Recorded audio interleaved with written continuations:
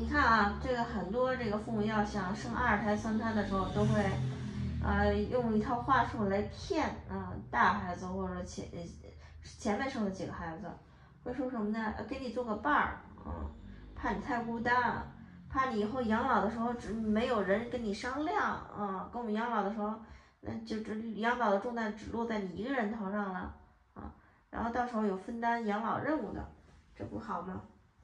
也有很多独生女呢，啊，真的是能力比较差，哎，就是给可能的独生女呢，是被父母用低成本养大的，然后她轮到给父母养老的时候呢，她真的觉得，啊，她她觉得不划算，啊，觉得很累，这是有可能的。但是呢，如果你父母真的给你生了啊其他的孩子，那你还要惨。不爱女儿的这种父母呢，不管他是生一胎还是二胎还是多胎，他都不会爱女儿的。这不是因为这个，所所以说这种独生女，她就希望说养老的时候有人分担这种什么养老义务。但是真正的呢，非独生子女呢，在这个养老问题上呢，说啊遇事儿没人商量，他们到底要商量什么呀？商量什么呀？有没有人告诉我？非独生子女到底能商量个什么呢？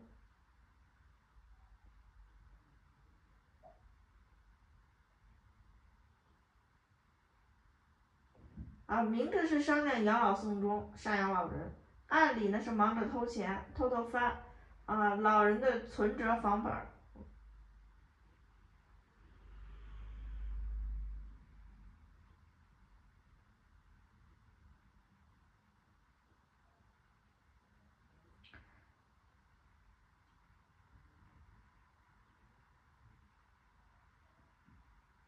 你看啊，其实呢，多胎的家庭呢，不也都是自己拿主意吗？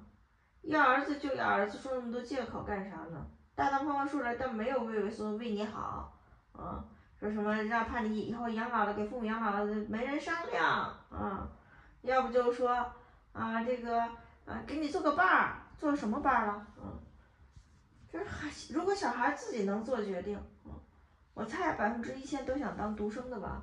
所以说你最多也就生一个孩子，别生那么多。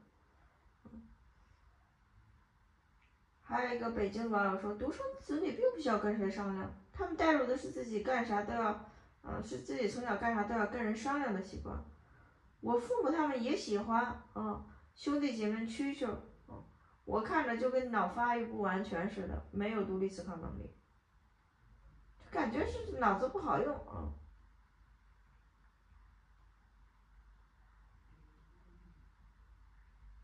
你看啊，这种商量什么呢？商量谁当坏人，决定八卦，这是一个湖北的网友说。啊，这还有的说什么呢？独生子女当然是不用商量啊，商量都什么呢？商量的怎么样把养老赡养老人的责任推给其他的兄弟姐妹。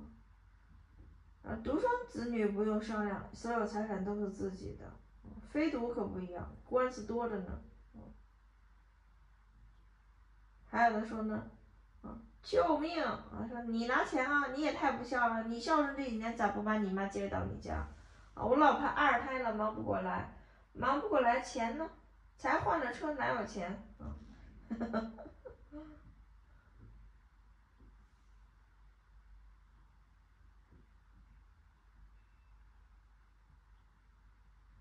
还有的说呢，没啥可商量的，商量就是谁八卦。拔不拔管，谁招呼谁出钱，出几出出多少钱？啊，这事儿大概率就三个和尚没水吃，还不如一个人拿主意呢，一个人挑水吃，对吧？三个和尚就没水吃。然后还有一个广东的网友说呢，一个人的义无反顾，一般人的各怀鬼胎。啊，商量不是商量给不给爸妈拔管，啊，是找人商量，啊，并不。其实就是找人担责，商量老人在谁家，一三五二四六，商量医药费，一人出多少钱，商量遗产怎么分，最后商量不妥，感情破裂，对簿公堂，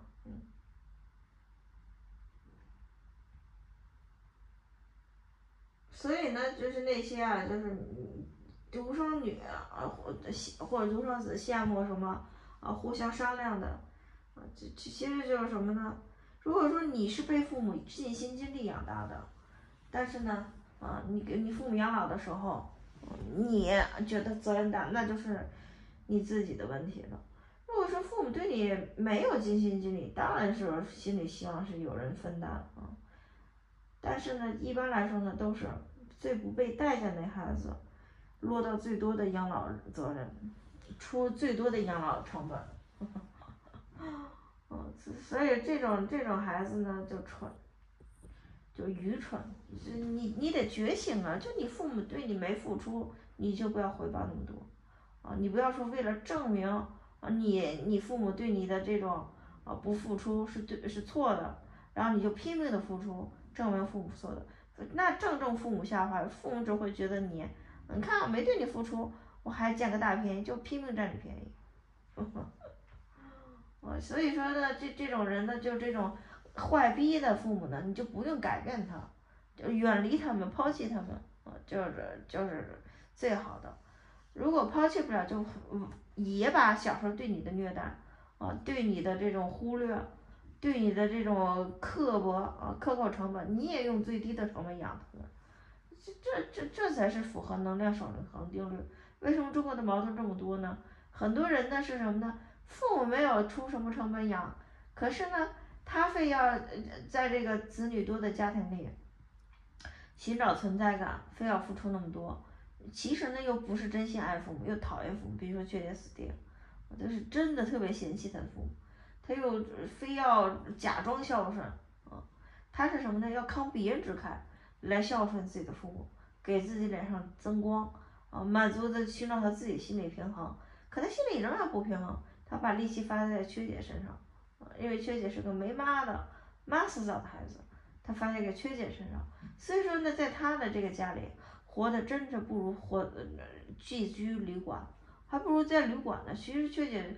把他定位成旅馆都是给他定位高了，旅馆都没人这样的虐待，这样的吸吸食缺姐的心理能量，否则缺姐会比现在会有出息的很多倍。他完全没有用过一点成本培养过缺姐，完全就是偷食、猎食、掠夺缺姐的精神能量。所以他呢，他死的时候缺姐看都不看他一眼。是是是，就让他这个缺姐的那个姐啊，那个那个假惺惺的姐，和他和田丰下的屌子去商量去吧。你不是商量谁拔管吗？他俩到底谁商量的，谁出的主意拔管那不知道。反正葬礼谁出的钱，缺姐也不知道，不过问。这就缺姐做到的。所以说，你们不能断亲的人啊，这这还要那什么？跟这个这这明明关系就不好的兄弟姐妹还要这纠缠，还要牵扯拉扯，那就是你们自己活该了，想不开了。你看缺姐跟这个四这个亲姐断绝关系，我跟你一发现他这人是个小人，嗯，就反复的验证他是个小人，那他那下的小点那就是一个恶狗，那缺姐就是要抛弃他们，理都不理，断六亲，嗯。就来自这种的垃圾家庭的，你除了断六亲没有任何办法，啊，包括那湖北那网友，缺姐跟缺姐聊了八年的澳大利亚的那个湖北的网友，这前段日子让她老公啊登录那个 Telegram 找缺姐，啊，让缺姐再帮她骂他妈啊，她又回国去跟她妈跟她妹妹去纠缠，我说你都已经跑到澳大利亚，你就别纠缠了，一谁都拉黑，连你妹妹都不用理，你妹妹不是什么。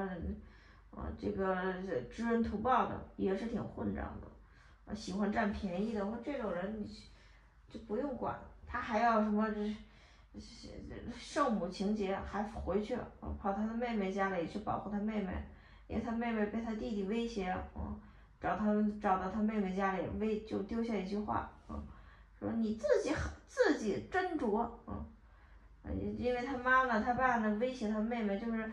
够不到他了啊，就威胁他妹妹啊，就就想敲诈勒索他妹妹，他妹妹害怕了，就哭着求他，他就回国去了。我就说，要不你就把你妈打一顿，他又打不过。她老公就还在澳大利亚上班呢，回不去，就她自己一个人回去了。他又打不过他妈，又打不过他这个他爹，打不过他弟弟，那就是就是干去挨打的。他还这这是缺他又来找缺姐啊，缺姐本来就烦他了，我说你还纠缠什么呀？是你妹妹能够就是黑你的钱是吧？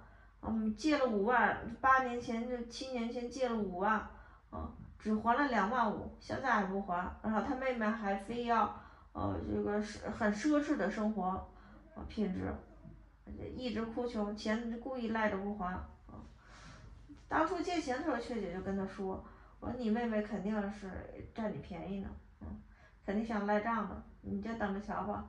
我说你跟你妹妹管你借钱，你说借就借，我连个借条借条都不打，我说你妹妹又不是没结婚的，是吧？她有这这结婚，她有老公是吧？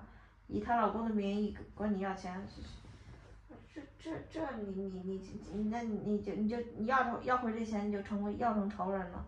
结果他跟他妹妹果然就快差点成仇了，啊，他还不断呢。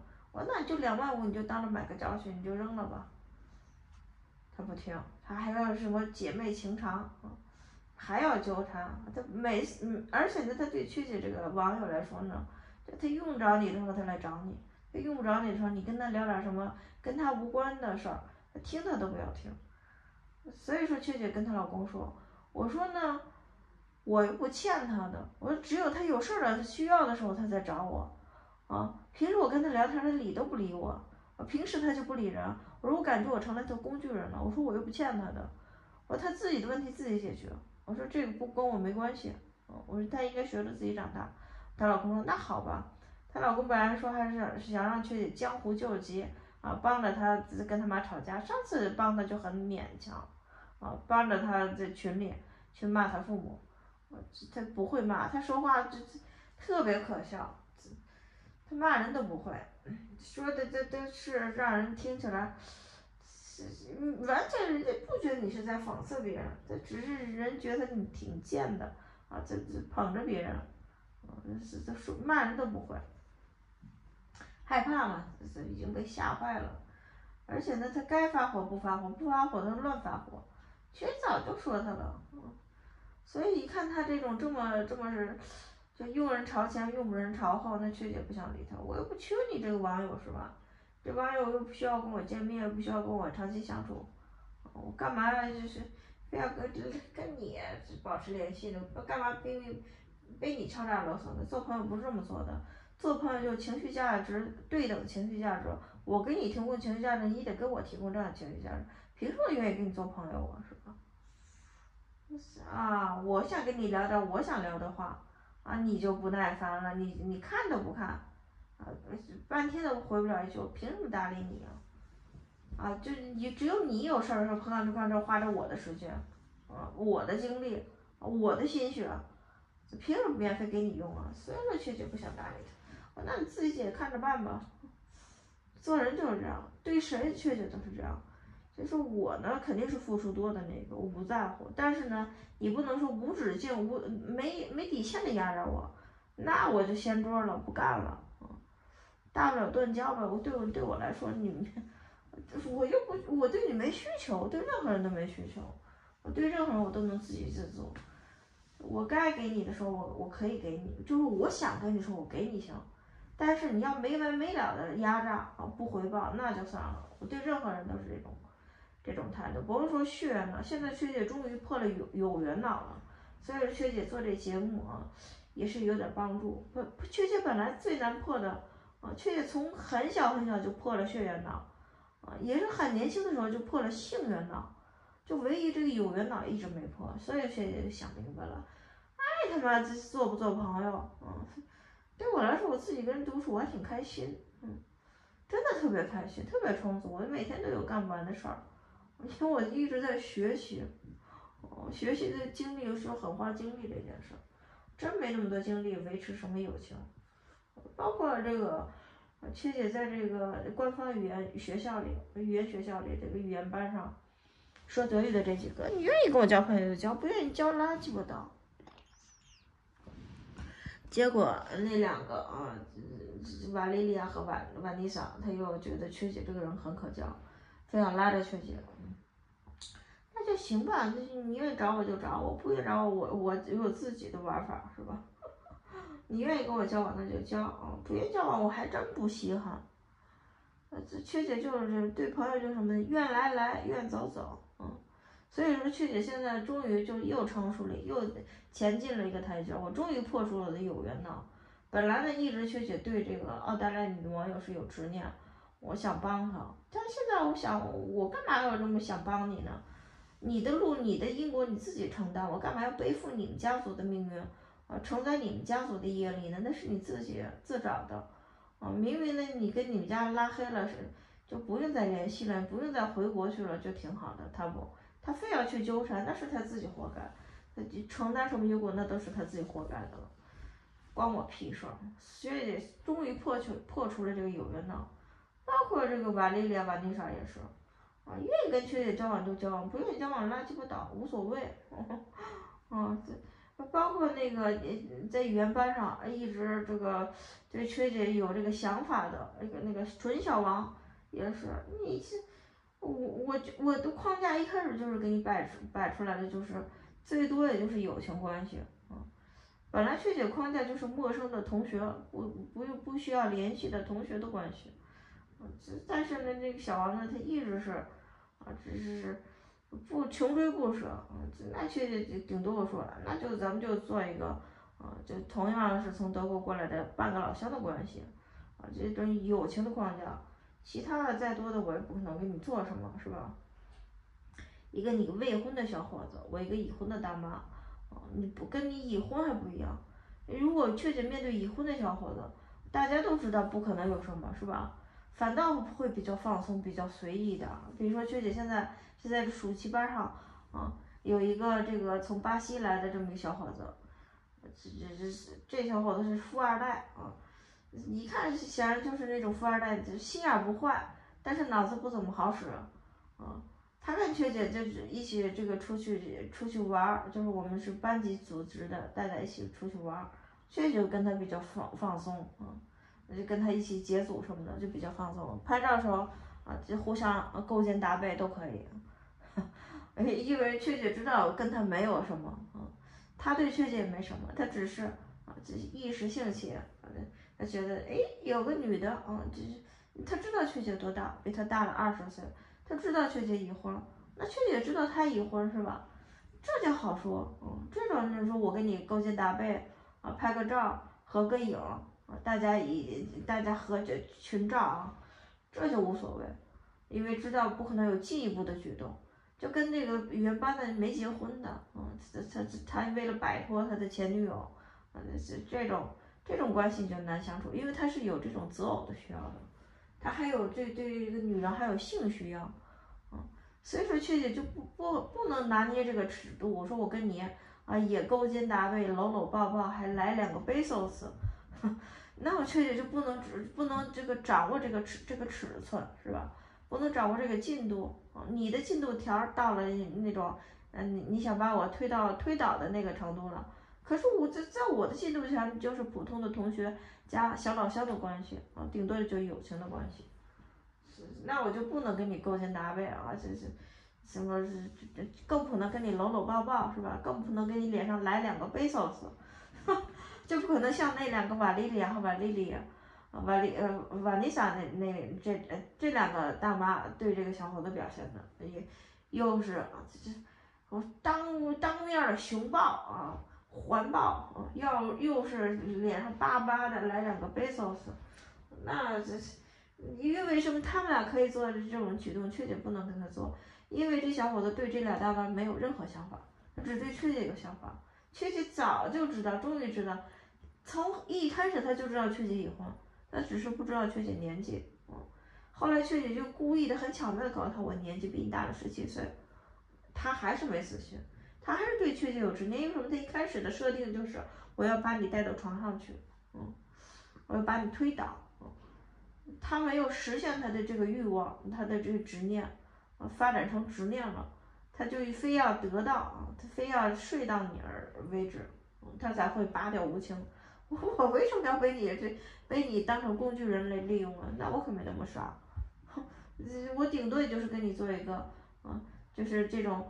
呃，这这种就是什么叫社交社交关就是就随遇而安的这种朋友，就社交场合遇到了，那就啊就就嘻嘻哈哈说说话是可以的，呃吃吃饭是可以的，肢体觉肢体语言那就不可能啊，因为我不知道你接下来是什么样的，你你有什么样的想法啊？你有什么举动？你有什么执念是吧？你毕竟是未婚，还没择偶的。你像两个人都结婚了，都知道啊，不会有进一步的举动，那那就可以放松一下，顺其自然啊，嗯，随便呃拍拍肩膀、搂搂肩都可以啊。确实没有那么那么封建啊，只是说对你这种有想法的小伙子，那确实就比较封建一点就就是很高冷，我不能对你给你任何的幻想，我我这我这把年纪的人。我生活轨道是非常固定，我生活的很好，你不能把我拉下水啊，你也不能毁坏我的什么什么我的人生啊，我的人生我好不容易我爬到今天很不容易的，我干嘛要被你掠夺我的能量呢，是吧？